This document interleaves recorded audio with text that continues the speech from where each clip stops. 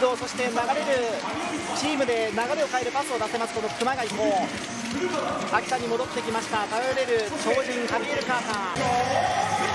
強靭なフィジカルインサイドを制圧しますショーン・ロング。今最もホットな男です。若きスターニューヨークミア。今キックオフです。まずは大阪のポジションからスタート。医療から鈴木達也スピードがあります。熊谷このーフの守備ができます。拓也つくのは赤穂です。橋本拓也から中いいインサイドへのアタックでした。熊谷です古川がゴールしたここですね。自ら持ってきたロング選手がボールを見失ってますね、えー、ロングちょっとボールは出せない。赤穂が回収。ザック追走。赤穂が見つかるナイスブロックすごいブロック橋本拓也。古川。古川中にアタック。今度はインサイドで行く。エンドワンです。熊谷。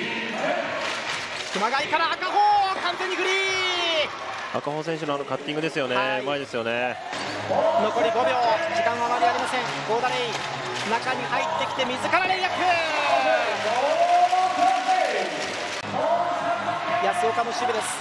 木下からロング時間がない。ロングタクショット！いやよく決めたよく決めた。非常にうまいプレーヤー。中山が中に入ってくる。ここからのバウンドは赤穂ライター！赤穂選手のあのシーン何回見るんでしょうかね。今大阪は橋本拓也そしてイアン・ハマーが個人ファール4つ。秋田はハビエル・カーター。あのプレーが得意なのに止められないというのはすごい技術ですよね、あとはもちろんパスを出している選手も見事ですけれどもね赤にアタックしてイオ